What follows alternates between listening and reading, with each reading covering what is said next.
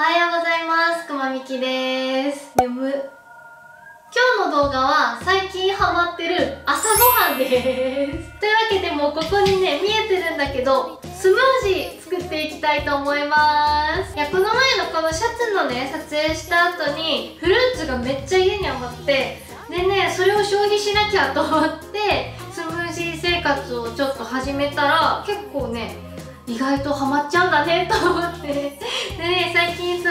やつを紹介したいと思います。まあ、超ざっくりなんだけどミックスベリーとバナナのスムージーで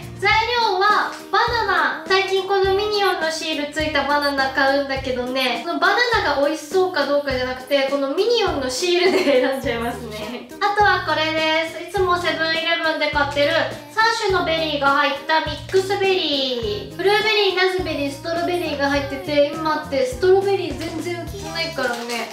もうこれでベリー系は済ませてるって感じです。冬だったらちゃんと買いたいんだけどね。あとは美味しい牛乳。牛乳中で一番好きです。はいじゃあもうざっくりなんで作っていきます。もう本当に目分量で作ってるんでざっくりなんですけどまずこれ1袋入れます。冷凍してある状態です。そしてバナナを1本。ベリーの味が濃い方が良かったらバナナ半分でもいいしバナナのベリーの袋半分とか好きに調節してください。いいね女子っぽいね今日の動画は。はいじゃあ牛乳入れます。牛乳いつもね分量なんだけどだいたいこのフルーツ入ってるとこの3分の2ぐらいで入れてます私は。でもこのゆるさは人それぞれ好みがあると思うんで好きな感じにしてください。はいこれであとはガーってやるだけです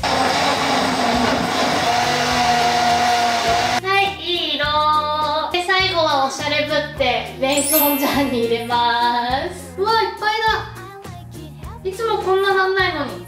溢れそう。はい完成です。うん。美味しい。私夏本当に食欲なくなっちゃうんですけどこれ朝とかすっごい飲みやすくってね最近本当に毎日飲んでます。